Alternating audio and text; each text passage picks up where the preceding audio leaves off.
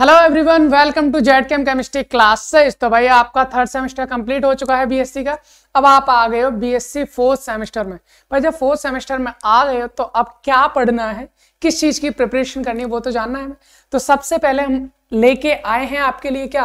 B S C fourth sem chemistry syllabus के बारे में। भाई, जब तक हमें सिलेबस ही नहीं पता हो तो हम कैसे पढ़ सकते हैं भाई? आपको पता है, जैसे अभी तक first sem second sem third sem fourth sem इन सब में भी क्या है, सबकी आपको आठ आठ यूनिट दे रखी थी।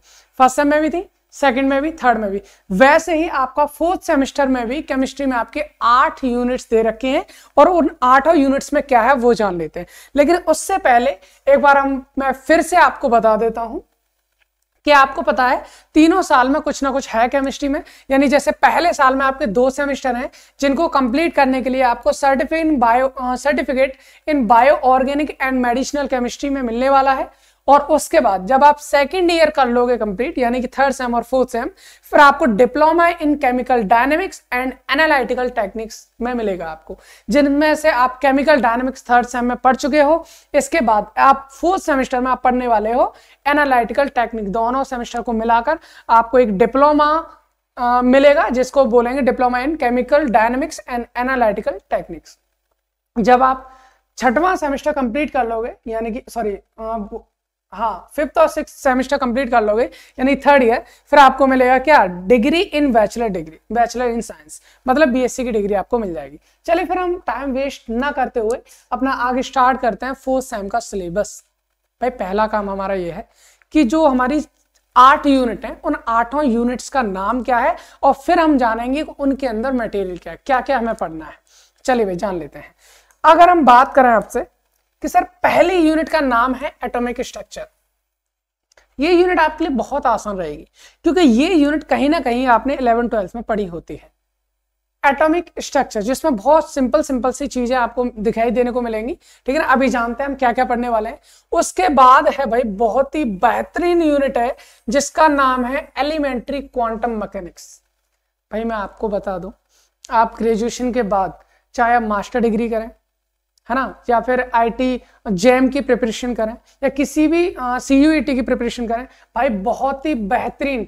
और जो होता है ना, जिसे हम बोलते हैं कि बहुत ही अच्छे से क्वेश्चंस आने वाले होते हैं एग्ज़ाम पॉइंट ऑफ़ व्यू से, या फिर हम बोल सकते हैं एंट्रांस में जो क्वेश्चंस आते हैं, बहुत ही बेहतरीन यूनिट है हमारी एलिमेंट्री क्वांटम मैकेनिक्स और जो लोग पीसीएम से हैं, जो आप अगर पीसीएम से हो तो आपके लिए बहुत ही बेहतरीन रहेगा, अभी से पढ़ना। रीजन क्योंकि ये क्वांटम मैकेनिक्स आपको फिफ्थ सेमेस्टर में, आपको फिजिक्स में भी मिलने वाली है। इसलिए आप केमिस्ट्री में अभी से पढ़ लीजिए फोर्थ सेमेस्टर में, है ना? तो एलिमेंट्री क्वांटम मैकेनिक्स उसके बाद है आपका क्या? मॉलिकुलर स्पेक्ट्रोस्कोपी भाई, इसमें बहुत सारे स्पेक्ट्रोस्कोपी आप पढ़ोगे।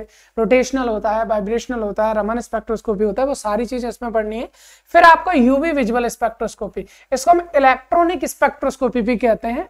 फिर आगे आपकी इंफ्रारेड स्पेक्ट्रोस्कोपी जिसे हम वाइब्रेशनल स्पेक्ट्रोस्कोपी यानी आईआर स्पेक्ट्रोस्कोपी भी कहते हैं, और फिर एक और मोस्ट इंपोर्टेंट टॉपिक है that is one H NMR spectroscopy भाई। एनएमआर भी आपको इधर दे रखे हैं। उसके बाद है इंट्रोडक्शन टू मास स्पेक्ट्रोमेट्री भाई, ये स्पेक्ट्रोस्कोपी नहीं है। मास जो होती है, वो स्पेक्ट्रोस्कोपी नहीं होती। ये स्पेक्ट्रोमेट्री होती है। रीजन ये होता है कि स्पेक्ट्रोस्कोपी में हम लाइट का इंट्रेक्शन देखते हैं किसी भी मैटर के साथ। भाई, कोई भी हमारा मैटर है सॉलिड है लिक्विड है गैस है, कोई भी है, उस पर जब हम लाइट डालते हैं तो उसका इंट्रैक्शन देखा जाता है। वो हमारी स्पेक्ट्रोस्कोपी होती है। लेकिन मास स्पेक्ट्रोमेट्री में लाइट यूज़ ही नहीं होती। दैट्स वाई इसको हम स्पेक्ट्रोस्कोपी ना बोलकर इसको स्पेक्ट्रोमेट्री बोला जाता है। ठीक है ना? उसके बाद है हमारी सेपरेशन टेक्निक्स तो मैं आपको बता दू भाई, किसी भी एंट्रांस पॉइंट ऑफ़ व्यू से, या फिर आगे आप आई टी की प्रिपरेशन करने वाले हो, वहाँ से एमएससी करने के लिए या पीएचडी करने के लिए तो भाई, या फिर आप आईटी गेट का एग्ज़ाम देने वाले हो सी एस नेट का एग्ज़ाम देने वाले हो, भाई, सबके लिए ये वाला जो सेमिस्टर है ना, ये बहुत ही बेहतरीन होने वाला है आपके लिए। क्योंकि अगर आपने ये वाला सेमेस्टर कर लिया तो भाई आप ये मान सकते हो कि आप बहुत अच्छा किसी भी एंट्रांस पॉइंट ऑफ़ व्यू से कर चुके तो बहुत ही बेहतरीन सेमेस्टर है। इसलिए इसके हर एक चीज़ को आपको जानना है और एक अच्छी तरह से आपको पढ़ना है। और मैं आपको इन्फॉर्मेशन के लिए बता दूँ कि हम इनके यूनिट वाइज सबके लेक्चर यहाँ करने वाले हैं। अगर आप हमसे जुड़ेंगे तो आपको सारी चीज़ें मिल जाएँगी। हम वन बाई वन सबके लेक्चर्स में अपलोड करता जाऊँगा। बस आपको देखना है। अगर आप देखेंगे तो मैं बिल्कुल कंटिन्यूटी में सारी चीज़ें कराता जाऊँगा। चलिए एक काम कर लेते हैं। अभी हम ये जान लेते हैं जैसे कि एटॉमिक स्ट्रक्चर है तो एटॉमिक स्ट्रक्चर में आपका आ, क्या क्या मटेरियल हमें पढ़ना है? चलिए भाई हम यहाँ पर बात करते हैं अपना ये। जैसे यहाँ पर दिखा रखा है फ़र्स्ट ईयर में certificate bio organic medicinal chemistry है। और सेकेंड ईयर में आपका diploma in chemical dynamics and analytical techniques है। और जब थर्ड ईयर की हम बात करेंगे, जिसमें फिफ्थ और सिक्स सेमेस्टर है, उसमें degree in bachelor of science है। ठीक है ना? बीएससी की डिग्री है। अभी हम आगे बात कर लेते हैं, जिसकी हमें बात करनी है। ठीक है ना? अभी जैसे यहाँ पर भी है, इसको भी देख सकते हैं आप। देखिए। यहाँ पर। ये क्वांटम मैकेनिक्स ये आपके सेमेस्टर है second third fourth fourth semester आपको जानना है। Quantum mechanics and analytical technique ये आपकी आठ यूनिट आपको दे रखी हैं, जो मैंने अभी अभी आपको बताई। Atomic structure element quantum mechanics molecular spectroscopy UV visual spectroscopy IR NMR mass spectrometry और सेपरेशन टेक्निक्स अभी हम कर लेते हैं अपना वर्क जिसको हमें जानना है, और वो है अपना क्या? सिलेबस और उसके अंदर की डिटेल्स के बारे में। ठीक है ना? तो ये है भाई हमारा। सेमिस्टर फोर थर्टिकल जो एग्ज़ाम होने वाला है, उसका नाम है quantum mechanics and analytical techniques ठीक है ना?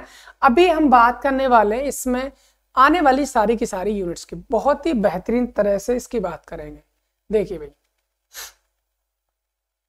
अभी हम यहाँ पर बात करते हैं। जैसे कि ये है हमारी यूनिट फ़र्स्ट यूनिट वन है और इस यूनिट फ़र्स्ट का नाम है एटॉमिक स्ट्रक्चर। आपको किसी को अगर स्क्रीन शॉट लेना हो तो आप ले सकते हैं, ठीक है? मैं इसमें बताने वाला हूँ, बहुत ही सिंपल सिंपल सी चीज़ें हैं। पहला इसमें एक दे रखा है आइडियन डी ब्रॉगली मैटर वेव। भाई, जो डी ब्रॉगली इक्वेशन कहीं ना कहीं आपने पढ़ी होगी, डी ब्रॉगली ये बताता है कि भाई, जो हमारी पार्टिकल है, वो आपका पार्टिकल नेचर रख रहा है या वेव नेचर रख रहा है, दोनों नेचर रखता है, उनके बीच में रिलेशन क्या है, वो सारी चीज़ें, है ना? फिर हाइजेन वर्क अनसर्टेनिटी प्रिंसिपल, है ना? जिसे हम हिंदी में हाइजेन वर्क का अनिश्चितता का सिद्धांत कहते हैं। उसके बाद में आपको पढ़ना है क्या? एटॉमिक ऑर्बिटल्स के बारे में एसपीडीएफ ऑर्बिटल्स होते हैं उनकी सेप क्या होती है एनर्जी क्या होती है सब कुछ उसके बारे में पढ़ना है। स्ट्रोनिंजर वेव इक्वेशन वहाँ मोस्ट इंपोर्टेंट है है ना? साई एंड साई स्क्वायर का सिग्निफिकेंस पढ़ना है कि साई क्या दिखाता है। साई स्क्वायर किस चीज़ को बताता है? यानी इसमें से साई जो होता है वो वेव फ़ंक्शन होता है या प्रोबेबिलिटी डेंसिटी होती है क्या होता है वो सबके बारे में जानना है। प्रोबेबिलिटी डिस्ट्रीब्यूशन कर्व आपको पढ़ना है। से पढ़, से पढ़नी है एसपीडीएफ की। Aufbau and Pauli exclusion principle Hund multiplicity rule ये आपको इलेवेंथ क्लास का डाटा आपको लग रहा होगा कि जैसे आपने इलेवेंथ क्लास में किया था, वो सारी चीज़ें इसके अंदर पढ़नी है। इसके अलावा, जब हम सेकेंड यूनिट की बात करेंगे एलिमेंट्री क्वांटम मैकेनिक्स भाई साहब, ये बहुत ही बेहतरीन, बहुत ही अच्छी यूनिट है। आपको यहीं से आपकी क्वांटम मैकेनिक्स की स्टार्टिंग होती है। एलिमेंट्री क्वांटम मैकेनिक्स में जैसे पहला टॉपिक आपको दे रखा black body radiation what is black body ये बहुत ही बेहतरीन टॉपिक है आपका। इसके बारे में हम डिटेल से पढ़ेंगे सबके। ये जितने भी टॉपिक आपको दे रखे ना, इनको हम वन बाई वन एक एक लेक्चर में खत्म करते जाएँगे टॉपिक वाइज है ना? हर यूनिट की एक अलग प्लेलिस्ट में बना दूँगा। जितने भी लेक्चर्स उसमें आएँगे टॉपिक वाइज एक एक टॉपिक को अच्छे से समझेंगे। जैसे ब्लैक बॉडी रेडिएशन है प्लैंक्स रेडिएशन लॉ है फ़ोटो इलेक्ट्रिक इफ़ेक्ट है हीट कैपेसिटी ऑफ़ सॉलिड है Bohr's model of hydrogen atom है है ना? इसके बाद कॉम्पटन इफ़ेक्ट है टी ब्रोगली हाइपोथेसिस है हाइजेन वर्क अनसर्टेनिटी प्रिंसिपल है। भाई, यहाँ पर भी था, यहाँ पर भी था। अंतर इतना, यहाँ पर क्वांटम मैकेनिकली हम प्रूव करके देखेंगे, है ना? हैमिल्टोनियन ऑपरेटर्स हैं तो ये सब के बारे में आपको जानना है। ठीक है भाई? अभी इसके बाद अगर हम बात करें, और क्या है भाई? चलिए, और हम आगे बात करते हैं इसमें। और क्या क्या हमें पढ़ना तो ये तो फ़र्स्ट यूनिट की बात कर ली हमने सेकंड यूनिट के कुछ टॉपिक्स के बारे में भी हमने जान लिया। अभी सेकंड यूनिट में कुछ और टॉपिक होंगे तो वो क्या है वो भी जान लेते हैं। जरा देखिए भाई।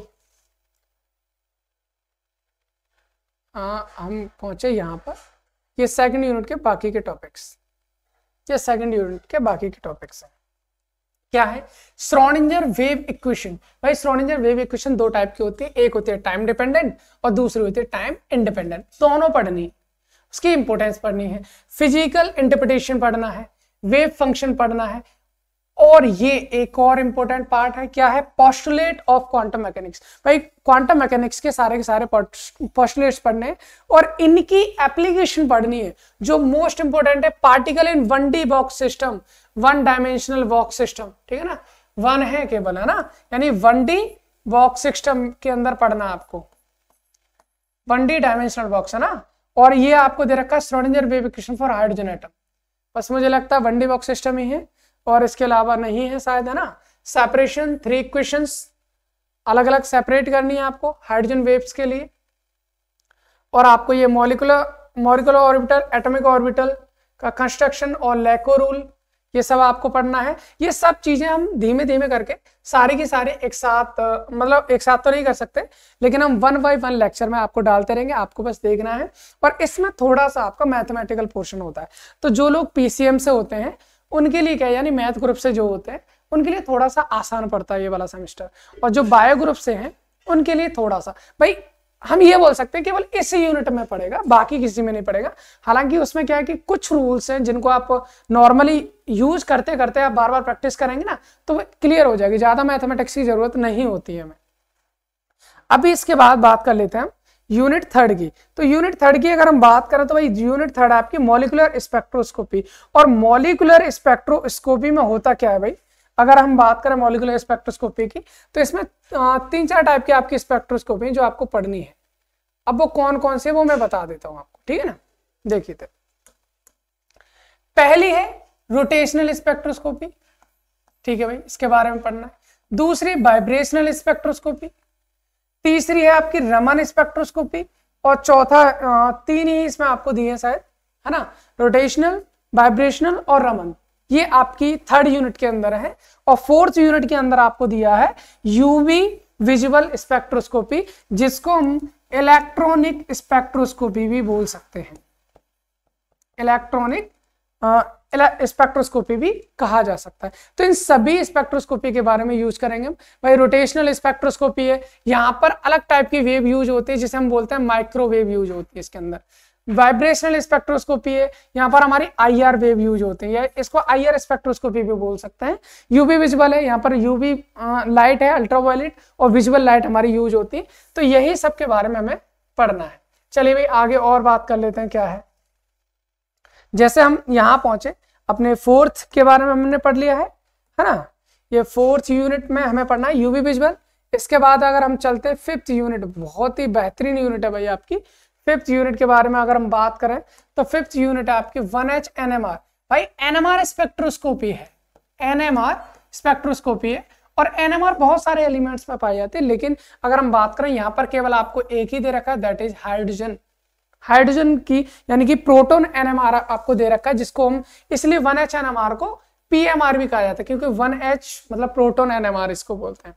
ठीक ना? बहुत ही बेहतरीन और इसमें हमारी क्या होती है? रेडियो वेव यूज़ होती है। कौन सी होती है भाई?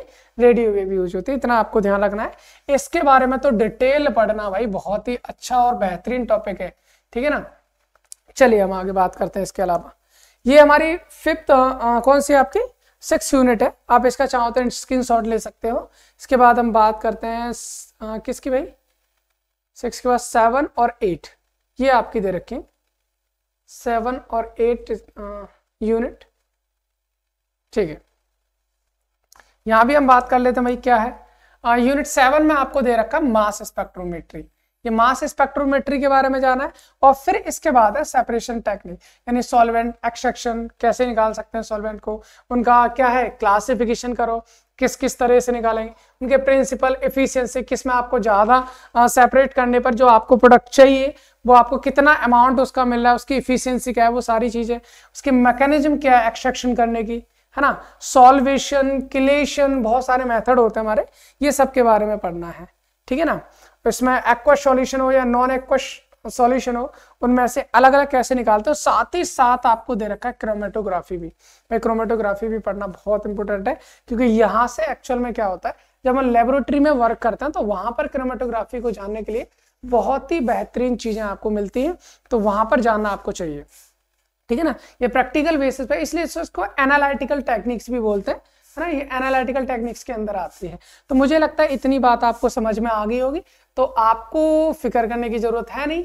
अगर आप हमारे साथ जुड़े हैं तो हम आपको इसको वन बाई वन सारे के सारे लेक्चर्स देते रहेंगे और आप हमारे साथ जुड़े जुड़े रहिए और हम आपको इसके जो सारे के सारी चीज़ें हैं उनको वन बाई वन लेके चलते रहेंगे। तो मुझे लगता है अभी आपको मोटे तौर पर जो सिलेबस है, वो मैंने आपको बता दिया। अगर आपको इसकी पीडीएफ फॉर्म चाहिए तो आप टेलीग्राम का लिंक मैं आपको डिस्क्रिप्शन में डाल दूँगा, वहाँ से जाएँगे, आप टेलीग्राम से डाउनलोड कर लेंगे। ठीक है ना? लेकिन अगर आपने स्क्रीन शॉट ले रखे हैं, बहुत अच्छी बात है। आप top one by one topic हम डेली करते रहेंगे, आप जुड़ते रहिए। ठीक है ना? Thanks for watching.